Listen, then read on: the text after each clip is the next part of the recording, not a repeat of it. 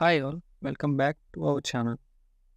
In today's video, we'll be seeing about what is user projects, what is MLD, and how we can connect our project to a PLC sim for simulating the CFC logic. So let's get diving. Today's points, multi-user project, and what is MLD, communication with PLC sim multi-user project. So basically, while creating a new project using new wizard, the SIMATIC manager will create a multi-project. So multi-project defaultly will consist of one user project. But according to the plant requirements, we can configure n number of user projects. For example, if I my factory area loading section with a PLC that will be configured as one project and a production area with another PLC that will be configured in one project. And finally, a packing area project will be configured as separate user project. So all the user projects will be having their own PLCs and own OS systems or WinCC systems. So all the logical requirements for all these PLCs like FBs and all will be derived from one center location that is called master data library. So basically master data library will have the template logics of all the PLCs uh, that are using logics uh, in CFC. So the all the logics were derived from a template we can create individually at user projects, but that will create a rework of commissioning engineer. So that's why this kind of architecture is used in PCS7. So master templates will be stored in master data library and they will be instantiated in required user projects at multiple hierarchy level. So here we are in our workstation. So our project is open and running. So we will navigate to a MDL. So you can see the icon with book symbol. So this is termed as master data library.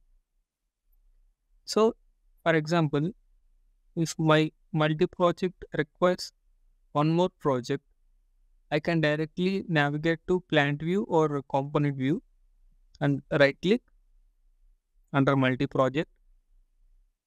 We can create in multi-project. So I'll be creating a new user project under the multi-project. It is uh, asking for whether this new creation was a project or a library. So we will be going with project first and it will be saved in the following location. So as you can see, we have a new project created. Under this, we'll be adding a new AS and voice station. Right click.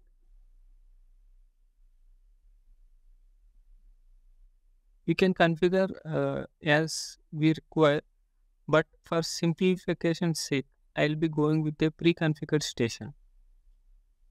Click on pre-configured station what is the CPU you want to install in this project. We'll be going with 410 single H as we selected in the previous project. I'm not selecting any communication card. And a single OS.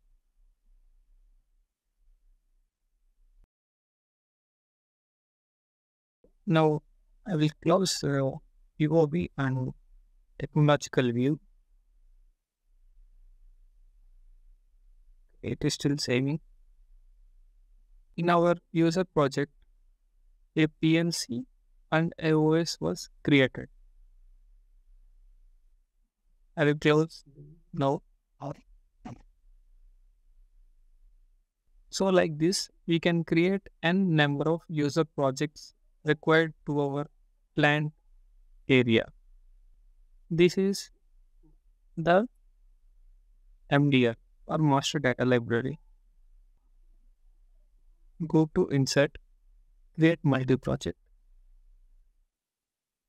Here, now we will create a custom library. This will create a custom library inside the multi-project. So basically, one multi-project should consist of one master uh, library and many user libraries. So all the logics which we are developing inside these should derive from master data library. That's how the PCS7 architecture uh, simplifies the commissioning.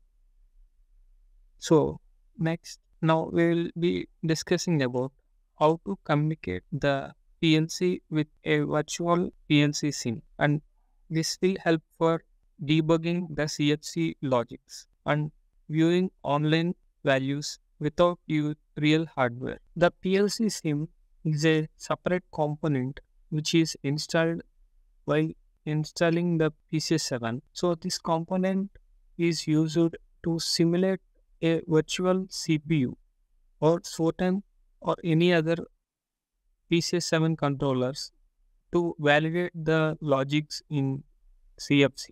So to activate the PLC sim, you need to navigate to the toolbar, open PLC sim. So you can see the user interface of PLC sim.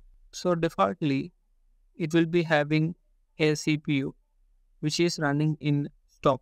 So to download the hardware configurations into this PLC sim, you need to navigate to the component view, open a PLC, navigate to hardware.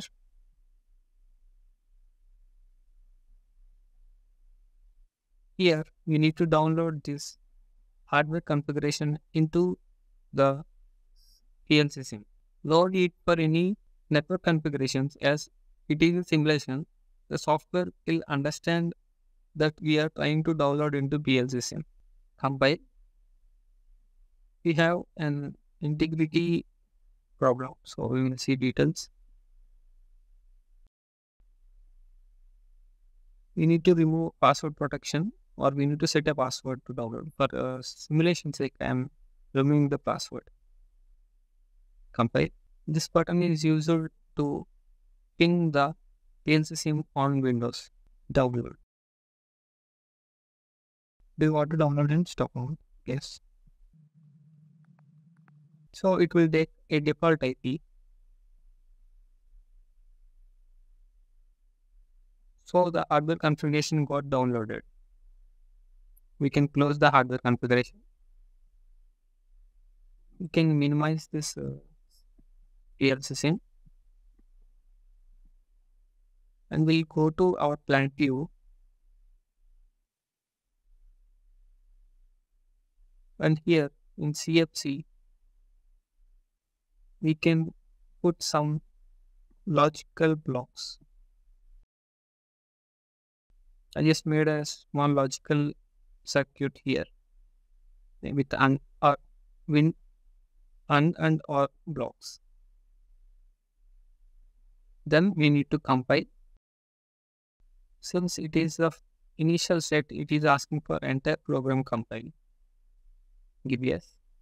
So compilation is going on to check any logical mismatch or any errors in the programming.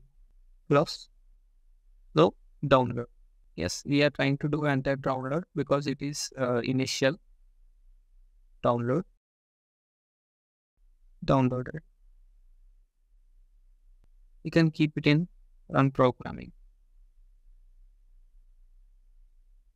To make sure, I will download again and you can observe notification here like real PLC. Download. Now, because uh, it is second time, we can do changes download. I will do enter program download only. Download. The CPU will be stopped. Yes. We want to restart the CPU? Now, you can see it went to stop mode as it counted. Now the CPU is back to mode. And this toggle button is used for testing of CFC logic. And you can see the logic and, and or with a live PLC simulation without real hardware. To modify these values, we need to do one more setting. Minimize, go to folder hierarchy, object properties.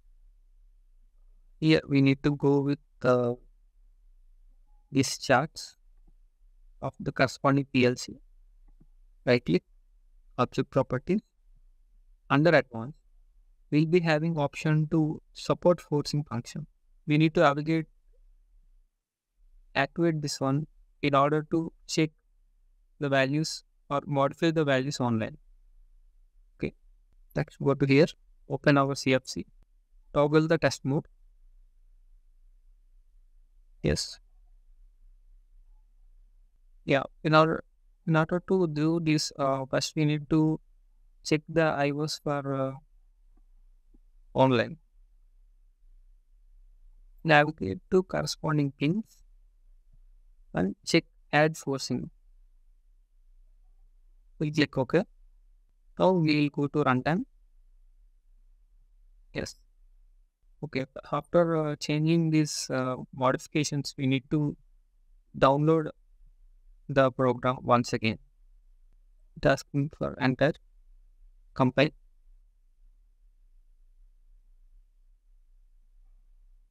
Close.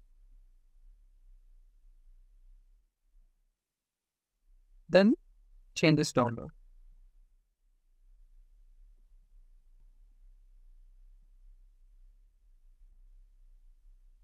Navigate to the TIOs and modify the value of the TIO. You can see the value was changed.